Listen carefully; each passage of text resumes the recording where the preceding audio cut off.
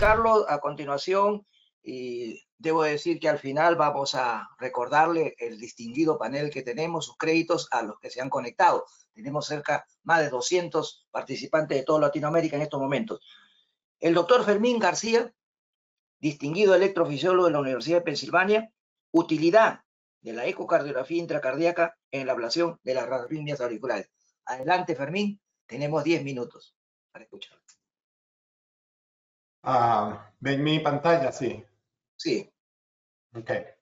Bueno, utilidad del eco intracardíaco en el tratamiento de arritmias auriculares en 10 minutos. Eso es un, eso es un task ah, bastante eh, objetivo de, enfocarse porque no, no hay, no hay mucho que se puede decir en poco tiempo, pero voy a hacer lo mejor que puedo. La forma que yo veo esto es que eh, para mí el ICE es como tener el eyes, los eyes, en inglés significan los ojos, y todo, todo lo que se ha explicado hasta ahorita, todo, las imágenes extraordinarias del doctor Cabrera, que, que son imágenes que yo he estado siguiendo desde que soy fellow de cardiología, siempre me imaginaba cómo era posible que esas imágenes, que son la realidad de la anatomía, pudieran ser trasladadas al paciente en el laboratorio mientras el corazón está latiendo. Y esta es la historia de esto, ¿no? Del eco, del eco ah, para poder entender ah, como herramienta única una imagen local dentro del corazón de las estructuras que nos interesan.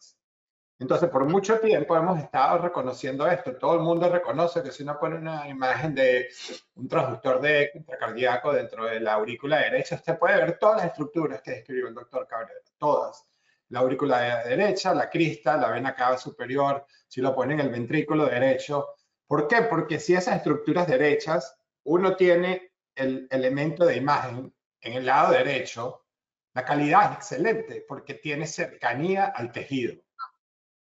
Entonces, los principios que yo creo para utilizar una hipótesis en electrofisiología basado en imagen directa con eco intracardíaco. Es que usted tiene que definir cuál es su problema, cuál es el problema de la arritmia y definir cuál es el target anatómico que usted tiene que eliminar para tratar esa arritmia. De tal forma que si la arritmia es una fibrilación auricular paroxística, su target anatómico son las venas pulmonares y así va modificando. Eso tiene componentes y cada estructura anatómica, como le describió el doctor Cabrera, puede tener variabilidad. Usted no puede pensar que una vena pulmonar es igual a la otra y a la otra y a la otra. En realidad todos los corazones son diferentes de cierta forma. Y tiene que entender que hay estructuras importantes alrededor de esas estructuras que usted quiere hacer ablación que puede causar un daño colateral. Entonces yo como ejemplo sencillo, lo voy a poner muy rápido, es la, la arritmia más fácil, pensamos nosotros, pero a veces la más complicada, una ablación del istmo caotricuspidio. Entonces el concepto es que yo tengo el istmo caotricuspidio y mis obstáculos son un ritmo de eustaquio prominente, yo puedo tener unos pouches sub, uh, uh, del ritmo del, del rich y eso podría tener unos músculos pectinados amplios y todo esto potencialmente son mis challenges para la ablación. De tal forma que lo que yo propongo es que en vez de hacer una ablación a ciegas, abramos los ojos y hagamos una ablación con los ojos abiertos dentro del corazón mientras el corazón está latiendo, que es lo más importante. Y aquí viene el eco intracardíaco. Entonces, la idea es que si usted sabe ya que esta es la imagen que usted necesita hacer ablación, el eco entre la aurícula derecha le pone la tricuspia, le pone el, el reach y le pone lo que sería el cabo tricuspidio, ismo y un pectinado grueso. Ya usted sabe todo lo que tiene que saber acá. Entonces usted diseña, su tratamiento y sabe muy bien que la forma más elegante de hacer una ablación por detrás del reach es no pelear con el reach, es respetar la anatomía. Nosotros tenemos que aprender a respetar la anatomía para tener no solamente éxito, pero disminuir las complicaciones. Entonces, si usted tiene que hacer ablación, por ejemplo, por acá, usted trata el catéter, le da una vuelta y lo coloca aquí de forma elegante, respetando la anatomía. Entonces, si por años nosotros estudiamos las estructuras derechas desde la aurícula derecha, desde el ventrículo derecho, ¿por qué seguimos empeñados? Que para estudiar las estructuras izquierdas vamos a seguir haciendo imagen del lado derecho. Si sabemos muy bien que la imagen es muy mala. ¿Por qué? Porque tenemos una distancia. Imagínense que usted quiere ver la vena pulmonar superior izquierda desde el septo. Ahí hay 3, 4 centímetros con un septo intraventricular que puede ser ancho, donde hay interferencia por estructuras hipertrofiadas, calcificadas, grasa, o si el paciente tiene marcapasos, hay electrodos, si usted ya tiene un aguilos o un chip, ya eso produce un artefacto, si el paciente tiene tienes mucha interferencia y poca calidad. Entonces, ¿por qué no consideramos para nosotros poder ver mejor esas estructuras anatómicas básicas que nos está enseñando el doctor Cabrera? ¿Por qué no nos vamos a la región de interés? De tal forma de tener lo que llamo yo HD mapping, una anatomía individualizada al paciente para evaluar la anatomía y dónde vamos a colocar el catéter y obviamente complicaciones. Bueno, yo creo que esto es del doctor Cabrera, si no me equivoco, uno de los papers originales. Y este es todo el concepto básico que yo quiero transmitir. Él nos dice que las ventas pulmonares son unas estructuras posteriores. Tenemos el ridge de la vena pulmonar, tenemos el, el, vestíbulo acá y la relación, etcétera. Y la vena pulmonar acá forma microscópica donde queremos hacer la ablación. Esto es eco desde la aurícula izquierda, tres pacientes diferentes, donde usted ve claramente, ¿ok? Claramente la relación de la vena pulmonar con el ridge y la pared posterior. En este caso, una vena común, muy grande, en este caso una vena un poco más pequeña, pero con una curva en la pared posterior. Y en este caso, ve usted una vena también amplia, donde usted está definiendo esta estructura que nos enseña el doctor Cabrera. Usted ya no se la está imaginando, usted ya no está poniendo un catéter y filipeando para adelante y para atrás para ver si el catéter está o no. Usted está viendo lo que usted está haciendo, porque esto es mejor que el mapeo, que el mapeo que usted está haciendo es estático. Este paciente se está moviendo, está latiendo y usted va a ver si ese catéter está en contacto o no, porque en la final del día, si el gol de nosotros no es hacer imágenes bonitas, sino hacer ablación, usted tiene que estar en contacto. Y eso se aplica tanto a radiofrecuencia como se va a aplicar a PFL. Tiene que estar en contacto. Entonces, si usted tiene que estar en contacto en este reach, ¿ok? Usted debe tener ese catéter en ese reach. Entonces, aquí ve usted cómo el catéter está en el punto perfecto, cómo tiene usted voltear el catéter y cómo tiene que estar ese catéter dirigido con una fuerza de contacto y un vector de orientación aplicado a este septo. Y fíjese usted, si usted va a definir la lesión, este paciente ya lleva ahí 30 segundos de 20 gramos de fuerza a 40 vatios. Y todavía, sino hasta el final, es que usted ve que ese tejido se torna blanco, porque era un rich que tenía un centímetro de grosor no un Rich que tenía medio centímetro de grosor y no un Rich, un Rich que tenía un cuarto de centímetro de grosor, porque ya el doctor Cabrera lo dijo, son todos diferentes, son todos diferentes. Una de las últimas imágenes del doctor Cabrera que enseñó fue esta área, el área del vestíbulo lateral de la válvula mitral lo que se conoce como el istmo de la válvula mitral. Yo aquí les pongo otro ejemplo de cómo yo he tratado de entender la anatomía que aprendemos en el libro y en las publicaciones y transferirla. Basado en esto, el istmo mitral se encuentra entre la válvula mitral y la vena pulmonar inferior derecha. Aquí hay una región proximal, una proxión distal y aquí al lado tenemos lo que es el fat pad de la circunfleja y de la vena cardíaca media. Lo dijo clarito el doctor Cabrera en su presentación. La arteria puede estar por adentro, puede estar por afuera. La vena cardíaca mayor más cerca, más lejos. Y esto tiene unas implicaciones tremendas porque si usted quiere hacer ablación desde la vena cardíaca mayor, usted tiene que saber dónde está la arteria. Y bien sea que pueda hacer un cateterismo o verlo en eco intracardíaco. Aparte de eso, esto tiene un grosor, esto tiene una longitud y esto tiene a veces pouches y a veces es cóncavo, a veces es convexo, totalmente diferente. Yo aquí les presento varias imágenes de pacientes totalmente diferentes, todos, de lo que es el ismo mitral.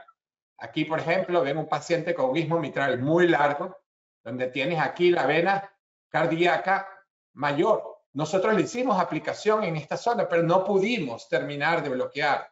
¿Por qué? Porque había una conexión epicárdica. Y puede ver usted claramente al poner alcohol en la vena de Marshall que viene por esta zona donde el doctor Cabrera le enseñó en el Rich que sube, lo único que usted está haciendo es poniendo alcohol en el epicardio de la parte más proximal a la vena inferior pulmonar y se da cuenta como que la ablación de la parte distal de la válvula mitral a la vena cardíaca media es a nivel endocárdico porque usted no puede hacer más nada acá. Después, si quiere aplicar algo epicárdico, lo tiene que hacer desde la vena cardíaca menor y después, si se quiere terminar en este istmo algo tan largo, es endocárdico y epicárdico, bien sea acceso epicárdico o hoy en día la vena de Marshall o la vena oblicua alcohol. ¿Ok?